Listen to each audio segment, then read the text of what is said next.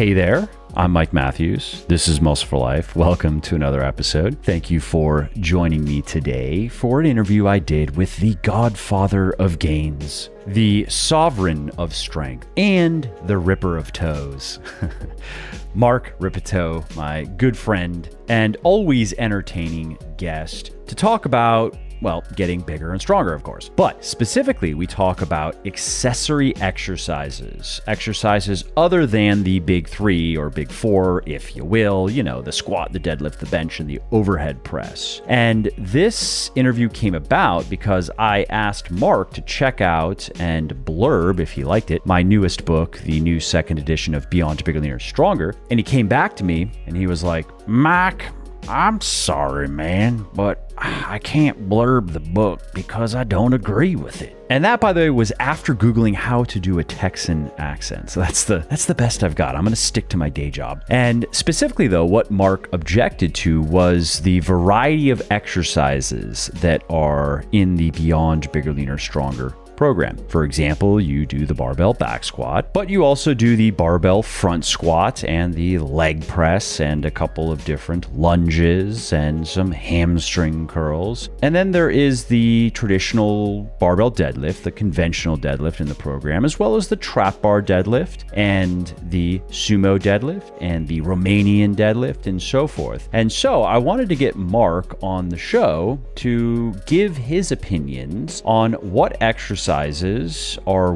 worthwhile in addition to the basic squat, bench, deadlift, overhead press, because we all know those are great exercises. At this point, I think it's fair to say if you are not doing those exercises regularly or a very similar variation of them regularly, you are not going to be gaining muscle and strength as quickly and efficiently as possible. You certainly can gain plenty of muscle and strength without deadlifting, squatting, benching, or overhead pressing, but if you can do those exercises, you are going to get to the finish line faster. So there's no real debate on that. However, are those the only exercises you need to get as big and strong as possible? Mark would say mostly yes, that you don't need to do much else. There are a couple of other exercises that are worth doing, like chins and barbell curls, and a few others that he's going to talk about in this interview. But for the most part, just get a big squat, get a big deadlift,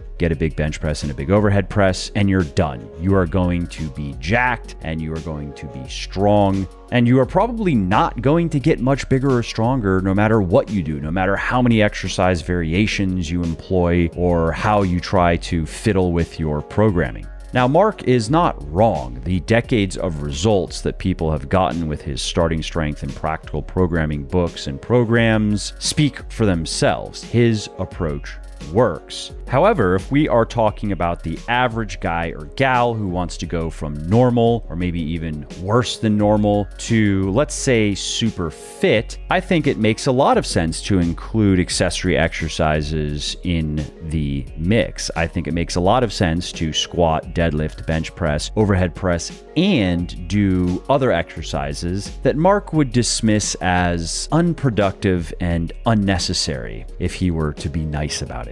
And so, such is the theme of today's episode, where Mark and I talk about several things. We talk about movement patterns and training movement patterns versus just doing accessory exercises. We talk about some of Mark's approved assistance or accessory exercises like barbell curls and lying triceps extensions and chin ups. We talk a bit about rack pulls, halted and wide grip deadlifts. So, some interesting variations of exercises that you don't see many people doing in most gyms. If you do, they're probably Olympic lifters and more. Also, if you like what I'm doing here on the podcast and elsewhere, definitely check out my VIP one on one coaching service because my team and I have helped people of all ages and all circumstances lose fat, build muscle, and get into the best shape of their life faster than they ever thought possible. And we can do the same for you. We make getting fitter, leaner, and stronger paint by numbers simple by carefully managing every aspect of your training and your diet for you. Basically, we take out all of the guesswork, so all you have to do is follow the plan and watch your body change day after day, week after week, and month after month. What's more, we've found that people are often missing just one or two crucial pieces of the puzzle. And I'd bet a shiny shekel it's the same with you. You're probably doing a lot of things right, but dollars to donuts, there's something you're not doing correctly or at all that's giving you the most grief. Maybe it's your calories or your macros. Maybe it's your exercise selection. Maybe it's your food choices. Maybe you're not progressively overloading your muscles, or maybe it's something else. And whatever it is, here's what's important. Once you identify those one or two things you're missing, once you figure it out, that's when everything finally clicks. That's when you start making serious progress. And that's exactly what we do for our clients. To learn more, head over to www.buylegion.com. That's B-U-Y-legion.com slash VIP and schedule your free consultation call, which, by the way, is not a high pressure sales call. It's really just a discovery call where we get to know you better and see if you're a good fit for the service. And if you're not for any reason, we will be able to share resources that'll point you in the right direction. So, again, if you appreciate my work and if you want to see more of it, and if you also want to finally stop spinning your wheels and make more progress in the next few months than you did in the last few years, check out my VIP coaching service at www.buylegion.com slash VIP. Marky Mark is back. Marky Mark and the uh, the ferocious bunch. The ferocious bunch. you know, I bet Wahlberg really cringes every time he sees that. Maybe 30 years ago. But I mean, he was the shit back then. I don't, I think I listened to my Marky Mark and the Funky Bunch tape until it was either that or Kris Kross until it broke and I had to buy it again. yeah, I, I had to admit, I never bought one of his records, but he is a hell of a good actor. Yeah. You know, he's, yeah. he shows up in shape. He's a good actor, technically a very good actor. I mean, I'm fuck, it's hard to be pissed off at the guy. He's kind of like an Arnold. He worked hard. I mean, he came he came from nothing. That's right. Well, let's see if we can get this podcast on track, which is Yeah, let's get back on track today. which is let's talk about less common but exercises that I would say are still effective and to give people listening some context we were speaking about a week or so ago about this new book that I have coming out it's a second edition of a book that I have for experienced weightlifters I guess you could say and I asked if you could check it out and give me a blurb if you liked it and you said you couldn't because you didn't agree with the training approach because it's very different than what you teach. And I totally understand, but I thought it'd make for a good discussion because the big difference is is really just the additional exercises, the bodybuilding stuff that I've added on top of the basic barbell movements. In the program, obviously people are barbell squatting and they're barbell deadlifting and they're barbell bench pressing and barbell overhead pressing, but they're also doing other, you could say, accessory exercises or isolation exercises. So I thought this would make for an interesting discussion and get your take on how necessary do you think that stuff is. And just to, to, quickly summarize why I think it is useful is if you have someone, the book is is written for it's, it's called Beyond Bigger, Leaner, Stronger. So it's obviously targeted toward men, although there's actually a lot of good information in there that women could benefit from as well. But it's written specifically to men who, let's say that they've gained 70, maybe 80% of their potential muscle and strength, which I think that to put a number to that, in most guys, that's probably in terms of muscle, 25 pounds or so of lean muscle, not weight, but lean muscle tissue, maybe a little bit more. And that guy doesn't need probably more than what's in my book for beginners or novices, bigger, leaner, stronger, which is more in line with starting strength. It really just kind of revolves around the big heavy lifts. There is some accessory work, but as you know, there's not that much in addition to it. However, in beyond bigger, leaner, stronger, it's that's for the guy who he's been doing bigger, leaner, stronger. He's done well with it, but now he's at a plateau.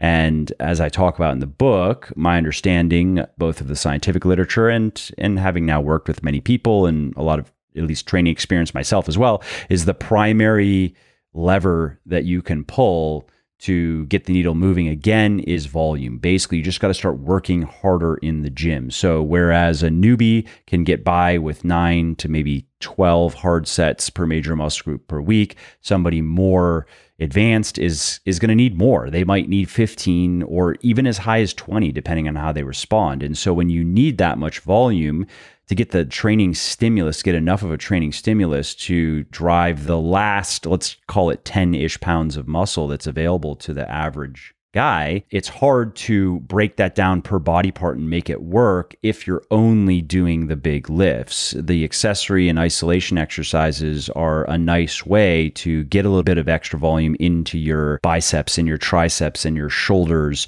and even your chest and I would say even probably some of your back if we were talking only deadlifting.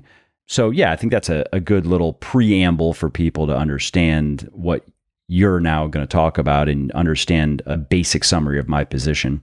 Let me go ahead and state that there's a basic delineation here between the way I think about these things and the way you think about these things. Yep. I think about movement patterns because I'm only interested in strength as the primary effect of our training. I regard muscle belly distinctions as irrelevant in terms of movement patterns because whatever muscles need to be incorporated into the movement pattern, the skeleton does that for you. Yes, you can't squat without your quads and your glutes and your hamstrings and your adductors and your calves and your low back muscles. So, what we focus on is trying to tailor the movement pattern in a way that allows us to lift the heaviest amount of weight because that's what strength is. And then, whatever happens to the muscle groups that are involved in that movement pattern happens. And we're not specifically concerned with anything except maximizing the amount of weight on the bar. And, and in doing so, what we do is maximize the, the efficiency of the use of the most valuable pieces of the kinetic chain to moving the greatest amount of weight. So we don't ever talk about anything except the movement patterns.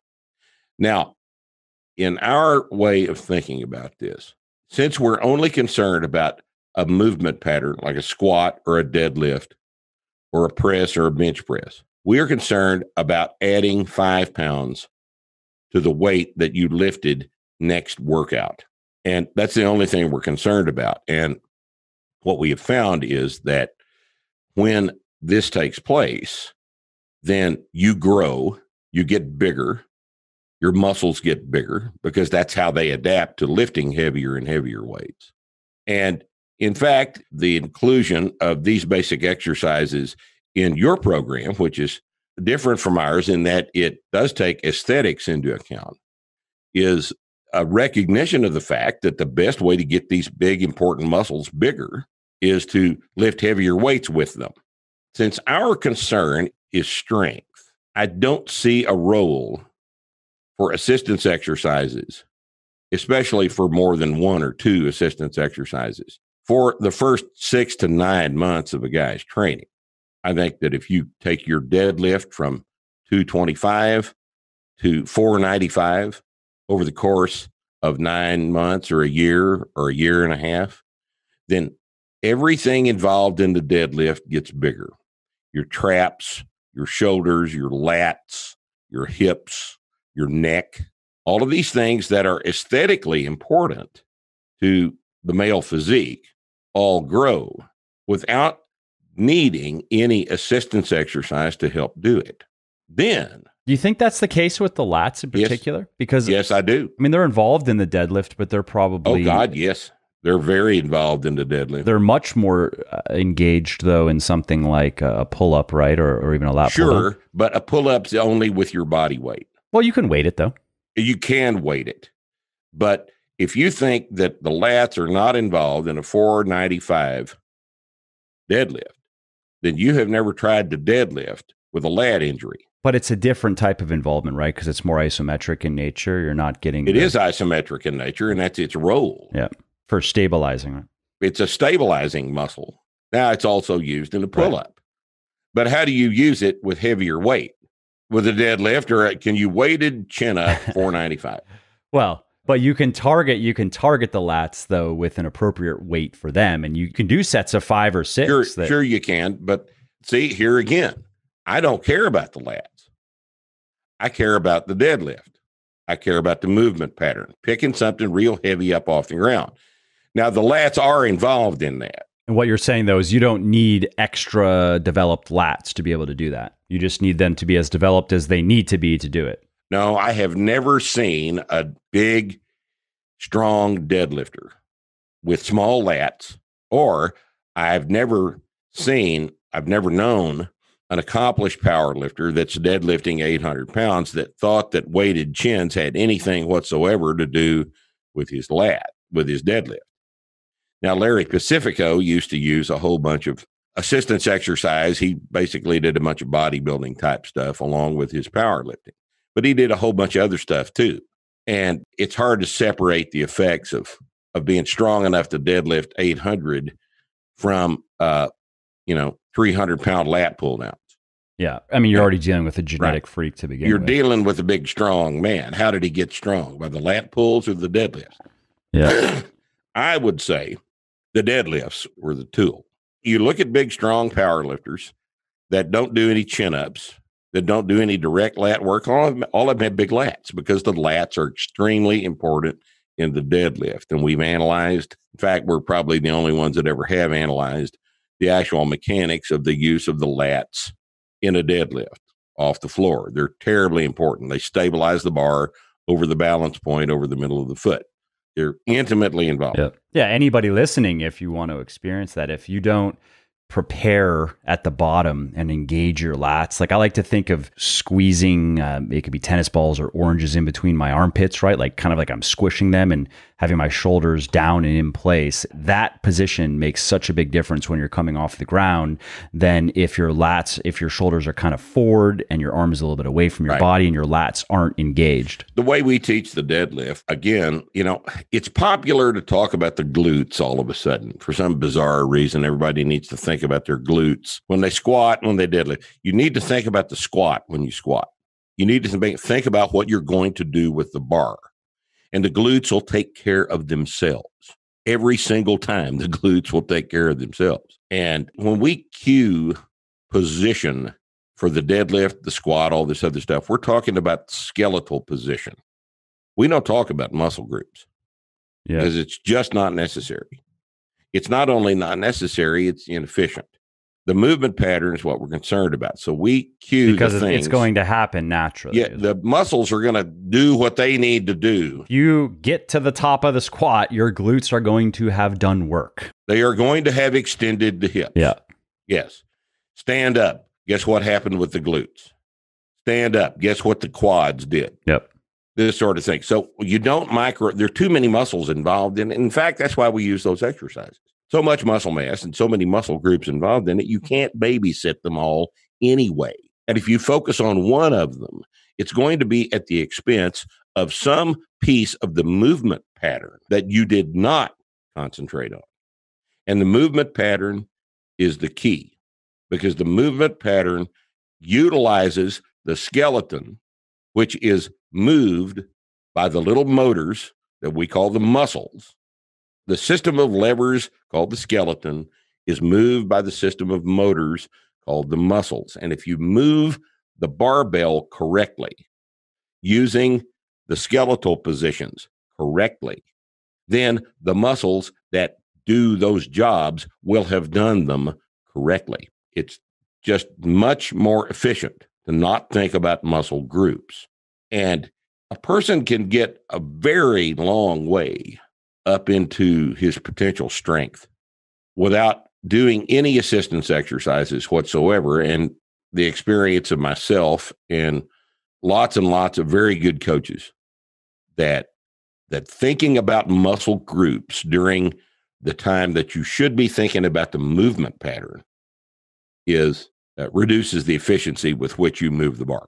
Yeah, well, people will talk about the mind muscle connection, right? Which right, we're talking about the mind movement connection. Yeah. That's a probably a better way to think about it. I'm not concerned about my biceps. Yeah, which I was going to use that as an example. If I'm doing biceps curls, I am going to focus on my biceps because that's what I'm that's what I'm doing. sure, sure. And don't get me wrong. I mean, I've got barbell curls in my book. I understand people need to do barbell curls. I understand that people in fact, barbell curls, this is interesting, have proven to be such a useful exercise for older trainees. And I'm talking about 75 year old people because a standing barbell curl for a person that old that can't do a lot of other stuff becomes a total body exercise. So I'm not shitting on barbell curls. I understand people are going to do them. I have a better way to do them, I think, than anybody else has described. What's your way? I use uh, aspects of both elbow flexion and shoulder flexion. Okay. I want both movement patterns and I want you to lean back as you come up. I want to involve as much. So it sounds like something that somebody would say, oh, that's bad form because. Yeah, it's not because you're not isolating your biceps. Well, why the hell do you want to isolate your biceps? Because they got to get bigger. Well, they're going to get bigger anyway because you know what you're going to do? You're going to get your curl up to 225 if you do it heavy. And guess what happens to the biceps when you're curling 225? They get a lot more work than they do if you're only doing 95. And you're throwing in a whole bunch of other muscle mass and making a heavy barbell, standing barbell curl into what is actually a very useful exercise. But for somebody just starting off in training, it's not necessary. And it, it takes time that is got to be spent in the gym doing other stuff that's more productive for a person at that point in their training. So, what this discussion basically boils down to is the things that you are telling people to do with your assistance exercises apply to everyone after they've been training a certain length of time. But they don't apply to anybody who's just starting off. And that would be our primary departure. I would say, though, that take somebody year one if they are doing just the big barbell movements, I agree they're going to do great. They're going to gain a lot of muscle and strength.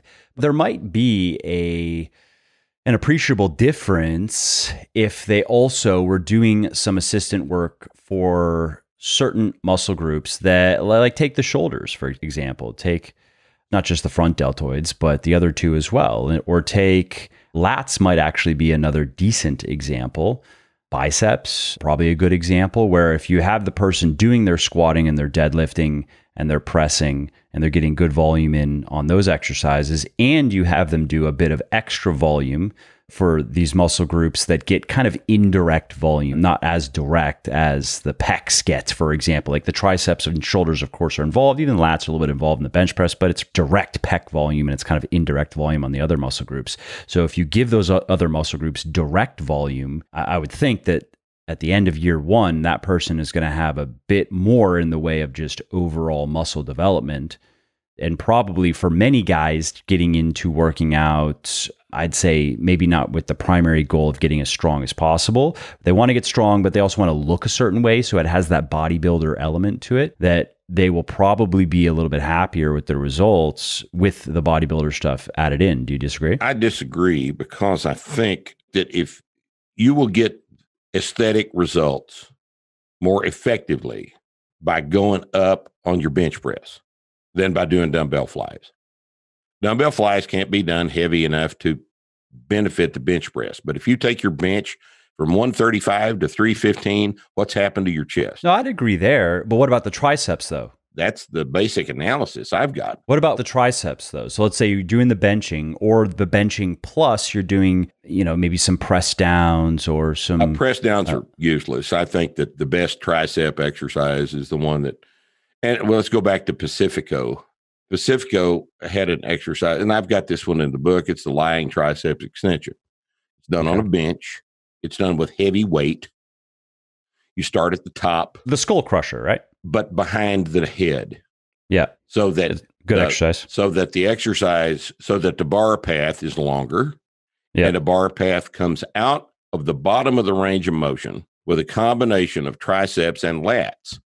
Mm-hmm. In other words, once again, we're trying to involve as much muscle mass into that assistance exercise as we possibly can in order that we can lift heavier weights with the muscles involved. because that's what makes muscles grow.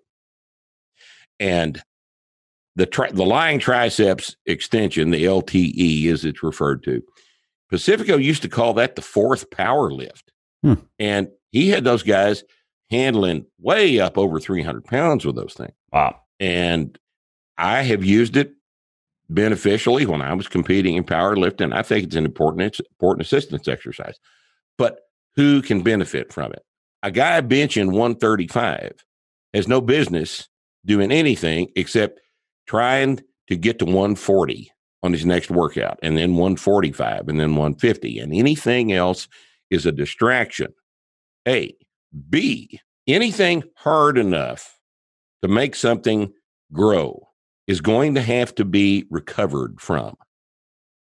And where is it beneficial, more beneficial to spend your recovery, recovering from the bench press or recovering from a bench press assistance exercise? And that's my argument. Now, if you get to the point where we're talking about what do guys like to do in the gym. I was just going to bring that point up as like, well, what about having fun? okay, that, that's a different consideration entirely, isn't it? You know, I understand that guys like to do stuff in the gym. I understand that. I've done it myself. I was there once myself. I don't argue with the fact that there is a market for correctly building in a bunch of assistance exercises into a program. Okay. I just don't think that it's optimal. I understand that it's going to be done. I understand what people are going to do. I understand that people like to do barbell curl. I haven't told anybody to not do barbell curls. I've told people to do barbell curls after you get through with your squats, your presses, your bench presses, your deadlifts, and your power cleans. And if you want to do some curls after that, go ahead and do them, but do them right and do them heavy. And don't do so many that you interfere with the rest of your training. We put chins into the program for novice trainees almost immediately. We chin the first month that everybody's training, I think you need some chin ups. Why? Because it's an important movement pattern. Being able to pull yourself up is an important movement pattern.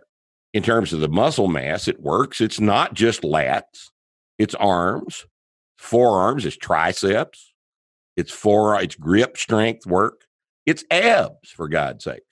It's an important assist. It's the most important assistance exercise. The first one we use with everybody, chin because it's an important movement pattern. Pulling things toward you is an important movement pattern. Right? We don't do them for the muscle mass, for the for biceps. We understand that biceps are positively affected, but we do it because it's an important movement pattern. You know, and overweight people can't do them, but very weak people can't do them either. You take a 55 year old lady and get her a chin up that's important. That's some very useful strength that she now has that she can use in her daily existence. I don't care about her biceps. I could give a fuck about her biceps. We do chin ups, not pull ups. We do them with a supine grip. Specifically, so we're involving the biceps, which are not involved in a chin up, a, pull up, rather. Chin ups are supine. And we want as much, again, as much muscle mass as we can get in the movement pattern so that we're training more muscle mass. But in terms of what people want to do in the gym, I'll just go ahead and say right up front, your workout makes a hell of a lot more sense than mine because mine's boring.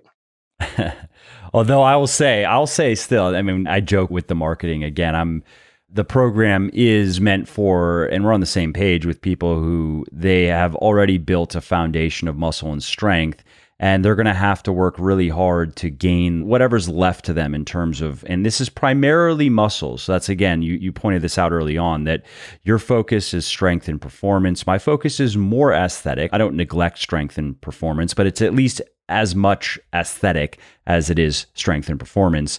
And so you would expect the programming to differ. What i expect is that people have different expectations coming to the program depending on what they're trying to get out of it. If a person's motivations are primarily aesthetic, that person is going to expect more separate muscle mass work. I'm not going to try to pretend that I can educate everyone to understand that if you get your deadlift up to 405, all of the aesthetics that you're going to try to get with barbell curls and a bunch of shoulder shrugs and dumbbell flies and forearm work are going to be there without your having done all those assistance exercises. It's too hard for people to understand that because they haven't had they haven't had that experience. They'll learn it eventually anyway. If you get your deadlift big, then probably the deadlift is even more important than the squat in terms of aesthetic changes for the male body because all of the things that you look at in a in a male in a muscular male are the result of the deadlift. When you see if i take a skinny kid at 155 and i get him up to 190 and i get his deadlift up to 405 455 and i look at him in a shirt because people don't hang around with a shirt on i look at him in a shirt i'm going to see broader shoulders i'm going to see traps I'm going to see a bigger neck. I'm going to see muscular looking forearms and hands. And I'm going to see lats. That's what I see with the man standing there in a shirt. And that's deadlift. That means deadlift. And if you try to do all of that stuff with assistance exercises, you'll get part of it, but it doesn't look the same you don't have the same chest depth. And it's not as, I'd say it's not as efficient and it's not as fun. It's fun to get strong on the deadlift. It's not particularly fun to get strong on the lat pull down or seated cable row. You just do it. No, you're right. It's not. It's hard to get strong on assistance exercises because they just don't move up in a linear fashion for a long period of time. Yeah. You can get your deadlift stronger for 15 years. How long can you improve your lat pull? Yeah. Six weeks, you know, six weeks, eight weeks.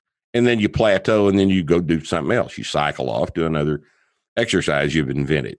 This is the difference between assistance exercises and, and the basic movements. Basic movements can be trained for a very long time. They can be trained productively for years. And that's why, I mean, in this new book, those are what I'm terming the primary exercises and saying these are the most important. These are the ones you have to get stronger on. Because they can be trained. You don't exercise them, you train them. You produce results on them for years and years. So, our boy Chase Lindley here. Chase started training with us when he was 12. He's a little fair haired child with type 1 diabetes. Last month, Chase did a standing press out of the rack with 370 at a body weight of 245. No dumbbell flies were involved in that. He's never done an assistance exercise. He's pressed, he's benched. That's all he that's all he does because that's all that's necessary. And Chase, God help me for saying this. Chase is a big, strong, impressive kid. He's a good kid. He's 22. He's a starting strength coach now. We're all very proud of Chase. We raised him at the gym, and he's our son, basically. He has proven better than anybody else the fact that if you just get under the bar and do the work, that you get great, big, and strong. He's got about a 38 inch waist, about a 60 inch chest, and he doesn't know where the dumbbell rack is. And it's just an interesting observation. If you stick with exercises that are trained, you know, you just don't need much of anything else. Now, he does some curls every once in a while. He does, you know, weighted chins. He does a bunch of weight on weighted chins. He's up over 100 pounds. So there are a few assistance exercises, but he's built that impressive male physique with just training, the basic exercises, and not much of anything else. And remember, this kid's type 1 diabetic. I've heard from many people over the years and worked with them virtually. And I'm trying to think if there's one who didn't. One for one, they figured out a way to make it work. It was usually they had to, you know, they paid attention to their carbohydrate intake and. Yeah, he's had to learn how to manipulate his food and stuff. He has problems gaining weight because if he eats a whole bunch of food, it fucks his insulin levels up. And so he's accomplished quite a bit with uh, with just paying attention to the exercises he could train and not worrying about the stuff you have to just exercise for a little while. Mike, I used to do all this assistance stuff. I did back extensions and glute ham raises for years. Are you ashamed? And years and years. no, I know I did them for years because I. This is before I had learned to think the way I do now about what is training and what is exercise. I would get on the glute ham machine for a while and say, you know, I'm going to move these things up. And I'd got up to the heaviest weighted glute ham all the way up in the air that I've ever done was I think I probably did 185 for a set of five one time. And the problem with assistance exercises that involve isolation like this is they always expose a joint to unsupported stress. Now, if you look at the way the knee is constructed, you've got the ACL and the PCL. And then you lay down on the glute ham bench, and the thigh is supported by the pad, and the heels catch under the rollers in the back. You push on the plate, and pushing on the plate, the plantar flexion allows you to convert what would stop on just a simple hyperextension bench into a glute ham where you can flex the hips and come up into to a, a vertical position with your torso. Now, it's obvious that you can do that without any weight, but if you really want to make the thing strong, you start holding plates or put a barbell behind, you know, on top of your traps in the high bar squat position and use that for your resistance. And it's been my experience that you get that thing up to pretty strong weighted glute ham in six or eight weeks, and then it stops because going up anymore is going to bother your knees because now you're into your ACL. I've always had that problem with leg extensions. They just have never felt good to me. Same thing, opposite direction. You know, you just you the the knee is designed to be supported by both hamstring tension and quadricep tension. And if you make the quads quiet like you do, you take them out of the movement like you do on a glute ham raise, then the support for the knee becomes one sided. And now you're into a ligament. And it's just, you, you just can't train them any heavier than that.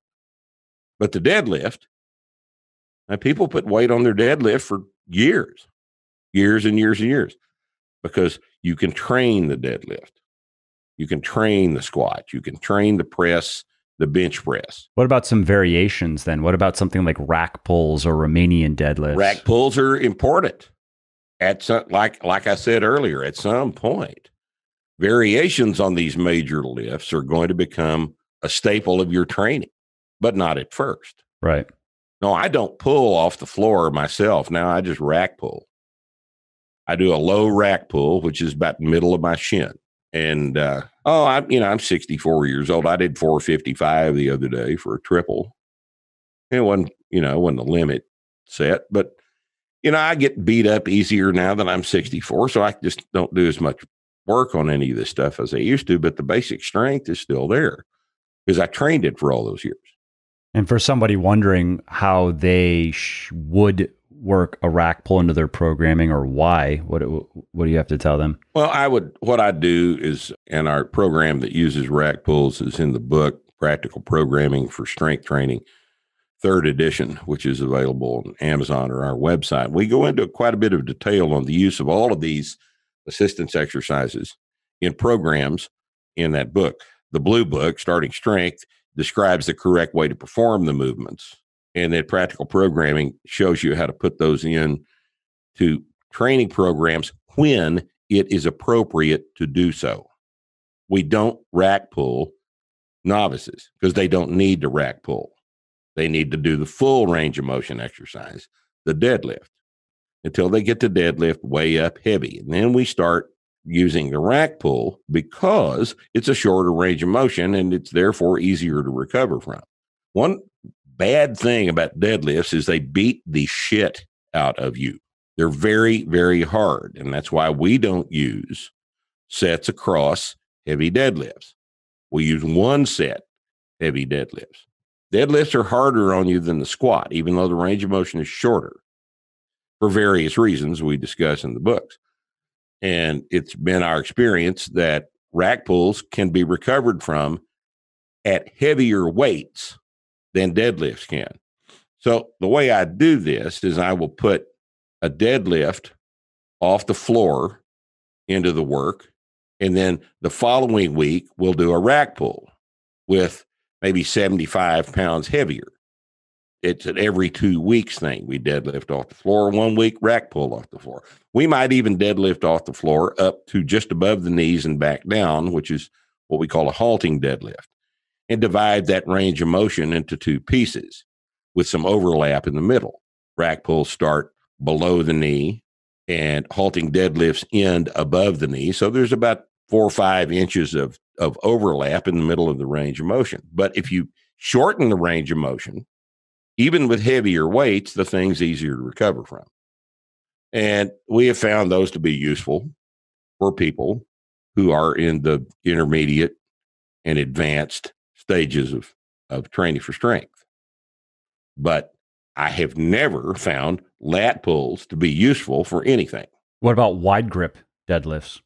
That's essentially the same thing. A snatch grip deadlift is uh, serves the same basic purpose as a deficit deadlift. And that is? It lengthens the range of motion of the pull. Because people will say it hits, uh, it helps with ensuring the low back stays neutral. Some people say it's better for improving your grip strength. Well, it's a uh, it's harder to get set up in a position where your back angle is more horizontal.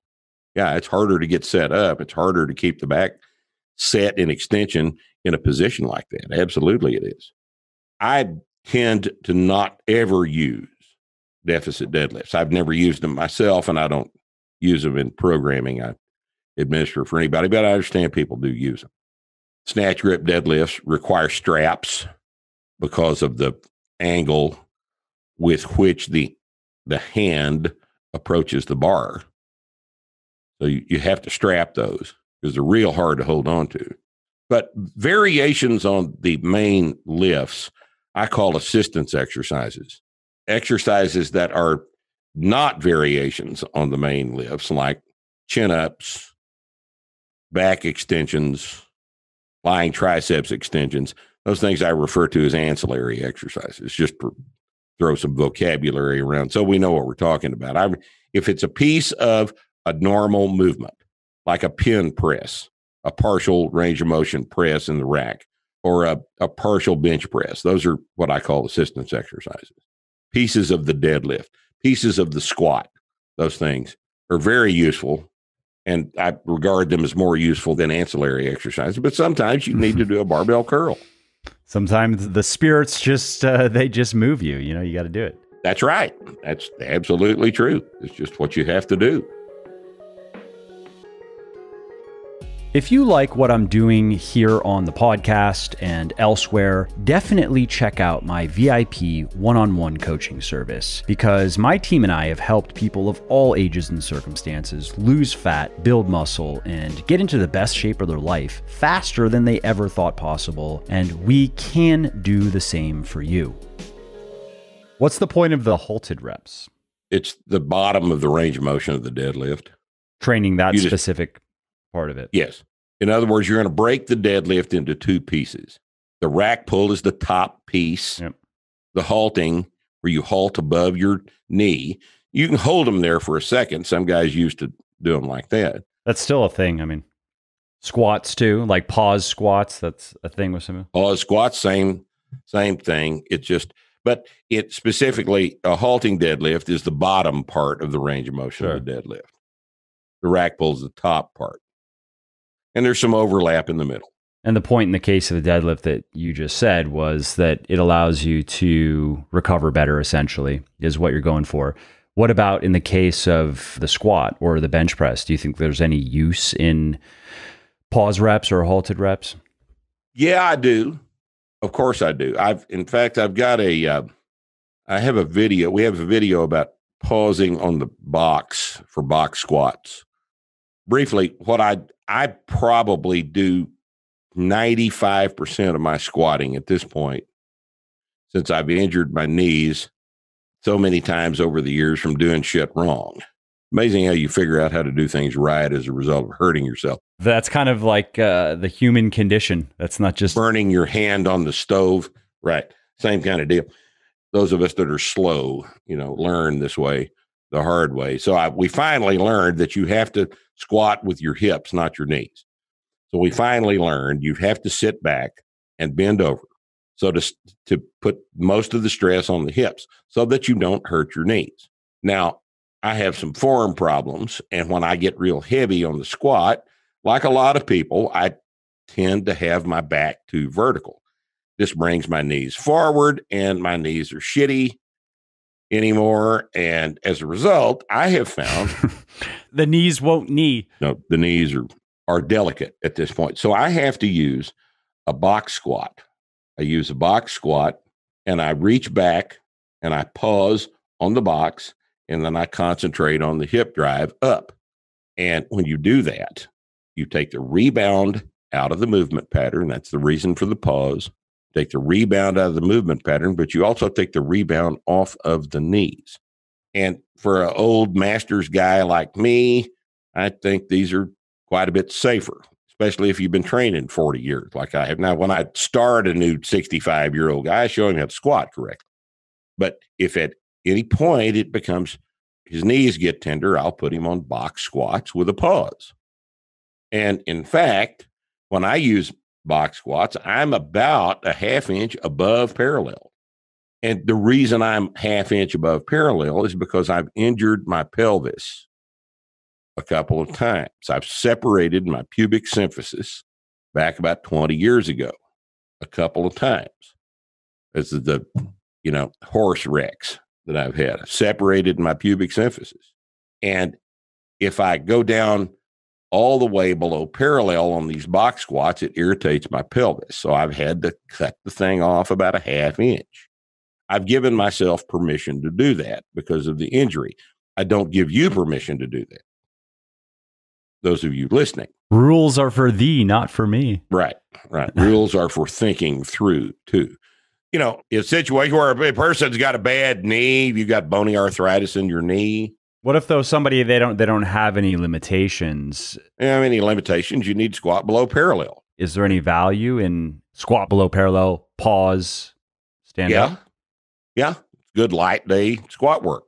It's a variation on the lift. There's value in that. Yes, absolutely. So that would be one of your accessory exercises, I yeah, guess. It's an assistance exercise. It's or assistance. All of the I got a whole chapter in the book about assistance exercises.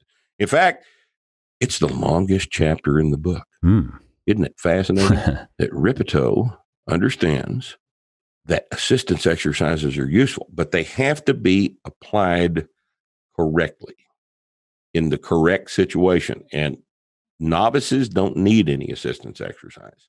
And advanced and intermediate people depend on them. It's Kind of like periodization, mm-hmm. the same thing. You periodize a novice, then you are wasting his time and you don't know what you're doing.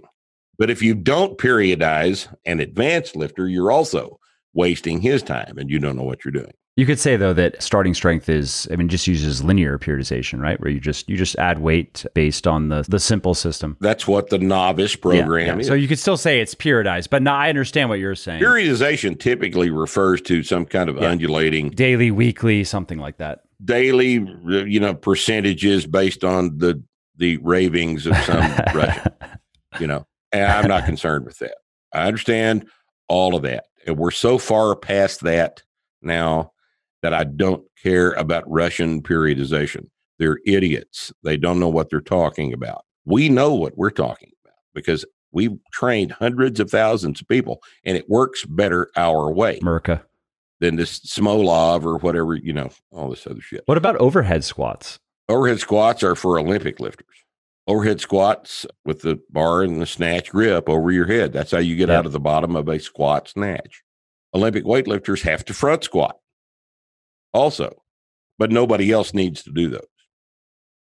Nobody else needs to do overhead squats. For many people, they find it easier on their knees and on their back. I mean, I've experienced it myself for what it's worth. No, no, not overhead, front. Sorry. Overhead squats? For me, yeah. I mean, I don't particularly have knee problems, but in the past, if my knees have gotten a little bit irritated on the back squat, same thing with my back, which is not surprising because you're more upright. But well, we'll uh, we'll have to sort that out later. I the, the only time I've ever actually injured my knees where they were later a problem is front squatting because all of the moment arms on the knee and none of it's on the hip you know, you're loading the knees. I'd rather let my hips help because they're a little bit better designed for that sort of loading. Overhead squats are a shoulder strength exercise. They don't challenge the squat strength at all. So they're not a squat assistance. They're a, they're how you get out of the bottom of a snatch. And front squats the same way. If you're front squatting two and a quarter and back squatting 315, what happens if you get your back squat up to 495? What happened to your front squat? Well, it went up too. But there are special aspects of that position that you encounter when a Olympic lifter catches a clean in the bottom. And the front squat for an Olympic lifter must be trained, just like the back squat must be trained. But it is a mistake that a lot of Olympic lifters make to think that they don't need to train the squat. In other words, put five pounds on it every time you you squat, go up, make it stronger too. They get so focused on the snatch and clean and jerk that they think that's the only thing that you have to try to challenge without understanding that the ability to do a snatch and a clean and jerk is the ability to display strength and where is strength most most efficiently developed well not in the snatch and the clean and jerk it's most efficiently developed in the squat the deadlift the press and the bench press. And then you practice the snatch and the clean and jerk and and learn how to do those with heavier weights. Because of the technical aspect yes. because of how much technique is involved right? That's right. One more for you. What about the good morning? Good mornings are a valuable assistance exercise.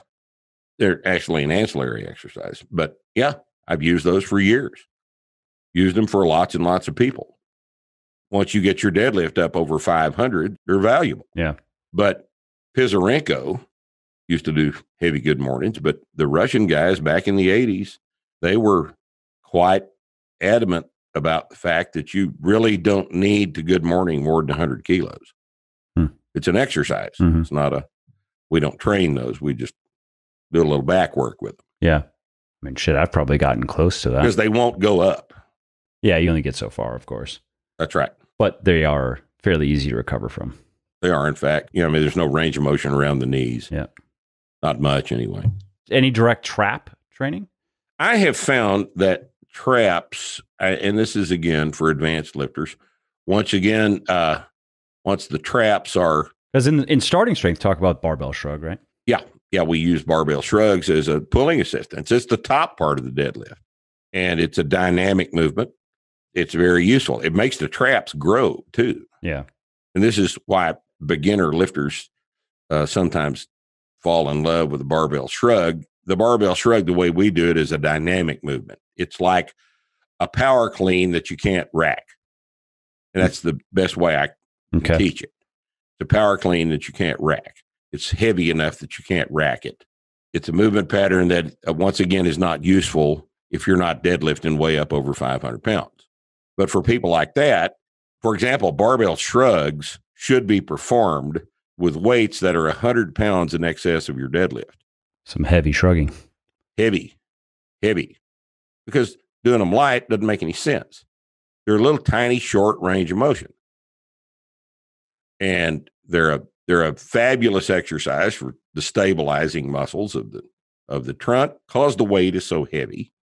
And they start on the pins in the middle of the thigh and they they finish with a dynamic shrug at the top, then you set them back down on the pins. Yeah. But to go over to the dumbbell rack and take the 90 pound dumbbells out of the rack and shrug them in that little circle you see people do, that's uh, this is what we call masturbation. Mm. Masturbation. I mean, a little bit more productive than masturbation. At least you burn some calories. I don't know how you masturbate, but not very vigorously. I burn calories. I'm serious about my masturbation. you know, for me, it's there, there's not much romance. It's just a right. transaction. Right. Yeah. Know? It's just a, just a quick transaction.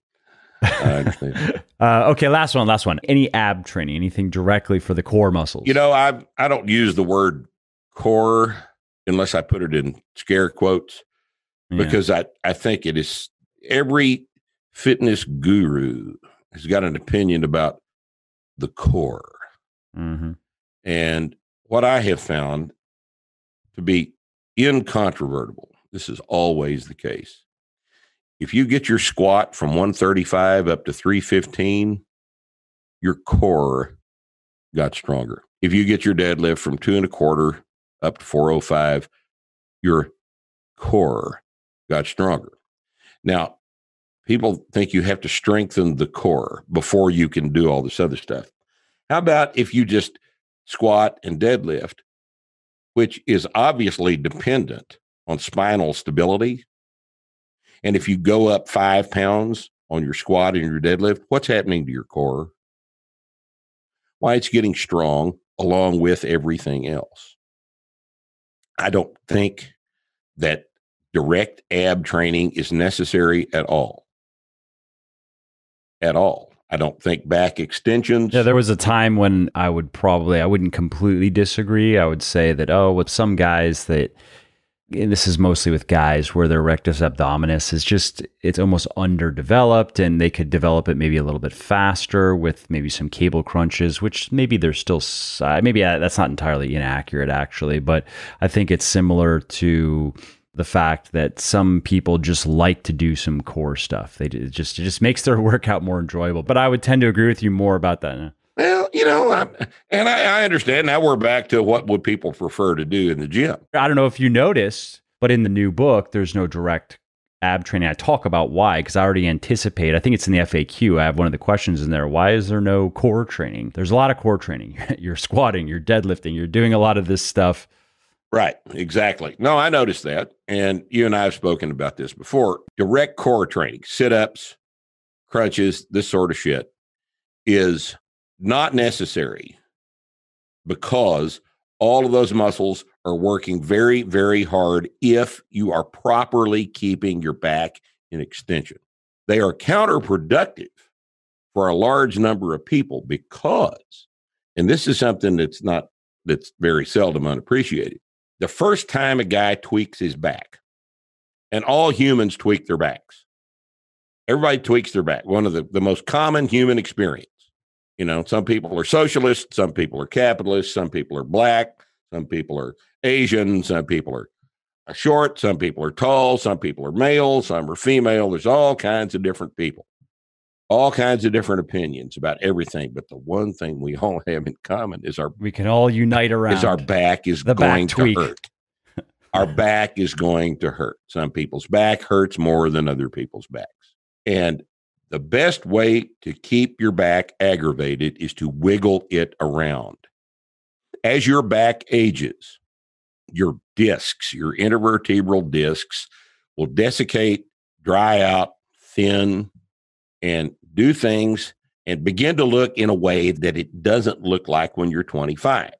All right. This is just a part of growing old. It is unavoidable. All people over the age of 35, when MRI study is, is performed on the low back, all people without exception, all people will show degenerative changes in the spine. This is normal. It's normal to have a bad back. And if the intervertebral discs are thin and desiccated, like they will eventually be for everybody, does it make sense to work the spine in extension and flexion, to wiggle the spine around and expose the intervertebral discs to a bunch of movement that they're no longer capable of dealing with?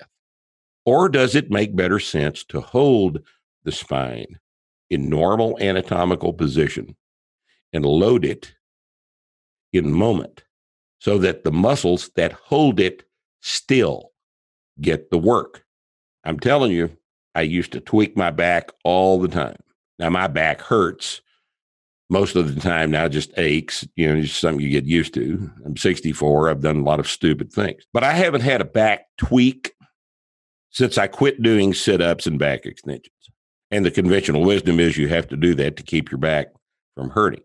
Been my experience and the experience of the people I've advised about this that if you wiggle your back around, your back won't like it. If you load the back isometrically and make the muscles that hold it still stronger, then you're far less likely to hurt your back. Or at least to experience the pain, right? I actively discourage. Yeah, I actively discourage. I think you're going to expose yourself to far more problems if you do sit ups and back extensions than if you just deadlift and squat and press. You know how much work Chase is doing with his abs when he presses 370? Think about this. You know, that's just a, that's a lot. I mean, it's it's it's difficult to understand how much trunk musculature is required to stabilize a 370 overhead press. Yep, strong boy. You know? So no, I don't think okay, you need. good. Well, I understand people are going to do them though, so go ahead and have at fun. least some leg raises or something, maybe some planks. Yeah, something. Whatever you want. well, that was all my questions for you this time around. This was great though. So this was something well, that hey, we found a discussion that hasn't been beaten to death by either one of us, at least uh, not on not on our podcast, not on my end at least. well, Mike, you're welcome out here anytime. I'm going to make it to uh, one of the seminars. We're just working out. I, I don't think this September because it, it, the final day is my son's birthday, and that weekend is going to be his birthday thing. But October should work just fine. Yeah, we're back here in. Uh, I think we're in uh, Denver in October, and we're back okay. here in December. And for people listening, so let's see, so, right? Schedule. This is going to go up probably in the middle of August. So, what do you have coming for seminars over the next let's say you know like what do you have in do you have something later in august and then what does september look like no we've got uh, i think we've got camps scheduled more frequently now the deadly coronavirus pandemic that has decimated the population of the world has uh, curtailed everybody's travel and has curtailed everybody's ability to participate in normal daily living like we have been accustomed to doing so uh, we've uh, cut our schedule way back. We're not traveling much. We're going to Denver in October for a seminar. And all these specific dates are on the website, startingstrength.com under events. We've got camps scheduled for Wichita Falls, but we're not going anywhere except December the rest of the year to do an actual seminar. Uh, September is the next seminar here in Wichita Falls. Then we're in Denver in October, and then we're back here in December. Probably one, a camp is a shorter event one of those a month. Okay. And you have coaching camps and you have training camps, right? We have coaching camps. We have camps for the self sufficient lifter, how to squat, press, and deadlift by yourself. Things to think about, things to watch for on the video you're going to take you yourself when you're training. We, we teach you how to basically coach yourself to the greatest extent possible. And those are one day camps, they're quite affordable. And, uh, we're doing those here in Wichita Falls. And then our full weekend seminar, that's a big affair. It's a 25 contact hour event. They're long and they're grueling and they're a whole bunch of information. And uh, you got to kind of have your head ready for that. And what about the gyms? What about the starting strength gyms? Our starting strength gym program, our franchise program continues to expand. We have four gyms open right now. All of them have recovered back to pre COVID levels of membership. They're surprising me. I thought we were dead, but people appreciate the fact that when you come in a starting strength gym, everything is normal. Everything is normal. And you are handed a way to get stronger that works every single time for every single person that comes in the gym. It's more affordable than personal training, and it's far, far more effective than personal training. We're in Dallas, Houston, Austin, and Denver right now, and a long, long list of gyms that are about to open up. Our affiliate program is active. We've lost several gyms due to local governments not understanding about their own tax base, you know, but Lots of gyms remain open. We're all struggling. Everybody's struggling with the death of common sense that we have encountered recently, and our gyms are no exception. But I think you'll you'll find that all of our gyms are full of very very good people. If you want to learn how to do this correctly, that's the place to go. And that's where people can get they can get coached very affordably, right? That's why you go there. It's not just a, gym to go work out at. It's It's for the coaching. No, no, it's a it's a gym that uses our methods and our type of equipment. Of course, uh, people can learn about that over at the website to learn about the different locations. You have gyms in, let's see, you have Texas, obviously. You have, let's see, Connecticut Yeah. here. You have Maryland. You have Arizona, California. All of those are affiliate gyms and they're all run by good people that we know very well. Any other book projects uh, that you? No, I haven't I haven't got a another Okay. book in me right now. I think that every time we publish, every time we uh, reprint the book, there'll be a few changes in it. The third revision of the blue book is as current as probably it needs to be. But all that material has been constantly updated since the thing was first published in uh, 2011 Yeah, I've done the same thing. and uh, it's our final statement on most of this stuff. Cool, man. Your book's doing well, though. When's the new one come out? Yeah, it's going to be so it's a bit odd because I have to get the material up in the next couple of days because of a, an agreement, a deal that I'm doing with Simon and Schuster and they want a full year in between the signing of the contract and the well, they, they want a full year of me not publishing anything before they publish the book that I wrote for them, which is fitness for the 40 plus crowd, men and women, uh, for people who are brand new to all of this, essentially. And so I have to kind of rush to get this second edition of Beyond Bigger, Leaner, Stronger up, uh, just so I can show them I got it up by the end of the month. And I have another book that I co authored with a guy named James Krieger, who you may or may not know, but called Fitness Science Explained and that also is kind of on the same deadline. So what I'm going to be doing is getting these books up, and they're going up in the next couple of days. And then I'll I'm putting together all of the launch related stuff. I'm not going to go over the top, but I want to at least put some work into it and make it fun and do a giveaway and stuff. So I'm thinking that the Beyond Bigger, Leaner, Stronger launch will probably re- be ready to begin at the end of August. That's my thinking, or maybe the beginning of September.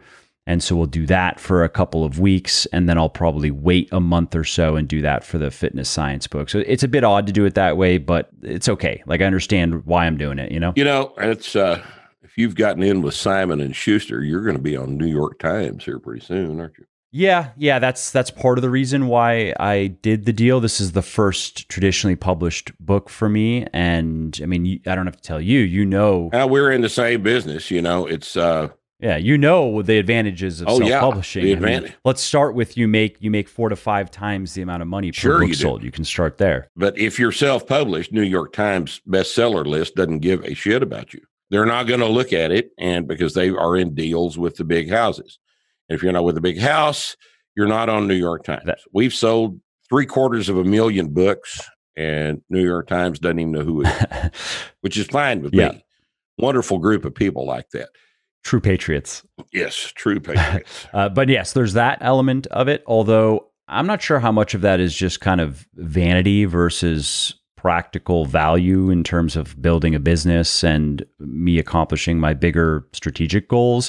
What is definitely valuable, though, is publicity, is media attention. So I'm hoping that this book gets me on the morning shows and just gets me out there in a way that is very hard to accomplish if you're just yeah if you're just a hermit Yeah. sitting in your cave writing books i mean it's kind of ironic i mean a self-published author like yourself who has sold three quarters of a million books that's actually much harder to do and much rarer than someone who gets a good book deal with a big publisher but it's all about the optics. Uh, it's there's there's obviously still a stigma of sorts in the industry with with Right. self-publishing which i understand. And it's because most self-published stuff is awful. I understand that. Oh yeah, most self-published, the vast, vast majority of like ninety-eight yeah and a half, 99% of books sell less than 500 Yes, copies. and there's a there's a reason for that because most of them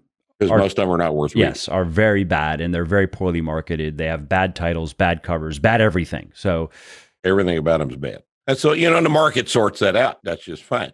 But occasionally there comes along something that's worth reading, like our stuff. And we are denied a broad audience because of the way we publish the thing. And I, you know, I don't care. I make enough money, but it would be nice if our ideas, uh, which we consider to be correct, were more broadly available uh, as a result of the exposure that could be provided by New York Times bestseller list. But you know, that that's why I'm doing this book with Simon and Schuster, and it's been a great experience so far. They've been great to work with. No complaints. Yeah.